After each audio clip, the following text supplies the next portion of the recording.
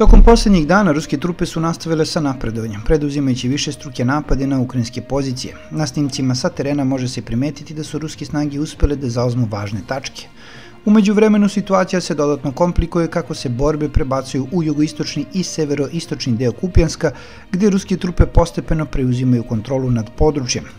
Ukrajinske trupe, iako suočene sa velikim izazovima, nastavljaju u očajanju sa pružanjem otpora, pokušavajući da održe ključne tačke – Krajem nedelje 16. novembra Izvori iz ukrajinske vojske potvrdili su da su uhvatili barem jednog ruskog vojnika na lokaciji Svatovske ulice, što ukazuje da je Rusija fizički presekla put koji povezuje ukrajinske snage sa nekim delovima teritorija.